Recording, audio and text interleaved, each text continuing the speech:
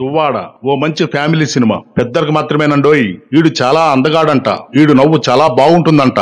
భారతీయ హైందవ సంప్రదాయాన్ని నిలువెత్తు రూపం ఈ దువ్వాడ సీనుగాడంట. ఏకపత్ని వ్రతుడు సంప్రదాయాలు చట్టు బండలు అంటూ చాలా బరువైన డైలాగులు చెప్తాడు.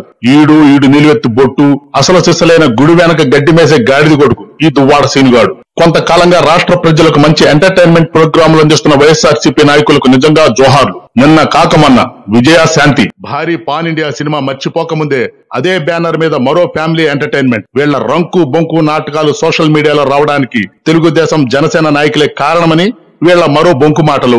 సహజీవనం అంటే ఏమిటి? పెళ్ళయి కూడా విడాకులు తీసుకోకుండా పక్కింటి మగాళ్ళతోనో లేదో ఇంకొకళ్ళ ఆడాళ్ళతోనో కలిసి ఉండటాన్ని ఏమంటారో? ఈ దువ్వాడు ఎపిసోడ్లో చాలా బాగా చూపించారు. హీరో దువ్వాడు గారి మొదటి భార్య. మా చీకటి వ్యాపారాన్ని పబ్లిక్ ఇష్యూ చేసింది కనుక ఇక నుంచి మేము పబ్లిక్ గానే దుకాణం ఓపెన్ చేస్తామని కొండ బద్దాలు కొట్టిన హీరో దువ్వాడ గారి సెకండ్ హీరోయిన్ నాట్య మయూరి మాధురి. నా మొగుడు నాకే సొంతం. మాకు నాన్న కావాలి అంటూ అర్ధరాత్రి వరకు రోడ్డు మీద కాలక్షేపం చేస్తూ రోధిస్తున్న కథానాయకుడు దువ్వాడ గారి మొదటి భార్య పిల్లలు. వాళ్ళ కన్నీటితో వర్షాకాలంలో కూడా తడిచి ముద్దవుతున్న విజయనగర వాసులు మంచి సెంటిమెంట్ పండించారు. అరే దువ్వాడ దేవుడు లేడు అనుకునే వాళ్ళకి మీలాంటి వాళ్ళు అప్పుడప్పుడు వచ్చి మీరు చేసే పాపపు పనుల వల్ల దేవుడు ఉన్నాడు అని నమ్మొచ్చురా.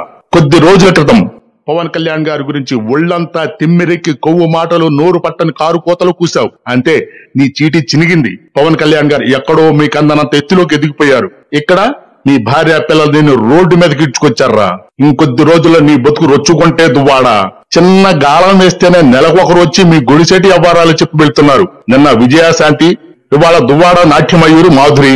గతంలో గంట అరగంట ఆంబోతు. బట్టలంటే నాకు భలే సిగ్గు చిరాకు బాబు అంటూ బట్టలిప్పేసి తిరిగిన గోడంతా మాధవ్.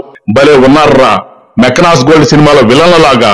పెద్ద వల వేస్తే టోటల్ నీ వైఎస్ఆర్సీపీ టీం అంతా వచ్చి కూర్చుంటారనుకుంటా. అయినా మీలాంటి గుడి వెనక గుడుంబా బ్యాచ్ని పెట్టుకుని ఏ ధైర్యంతో మీ నాయకుడు నూట డెబ్బై ఐదుకు నూట డెబ్బై ఐదు సిద్ధమా అని అంబోతురంకిలేశాడు నాకైతే అర్థం కావటం లేదు. విజయశాంతి దువ్వాడ నాట్యమయూరి మాధురి రెండు ఎపిసోడ్లలో మీకు ఏది నచ్చిందో కామెంట్ ప్లీజ్. దయచేసి ఛానల్ని కొద్దిగా సబ్స్క్రైబ్ చేయండి అప్ప ప్లీజ్.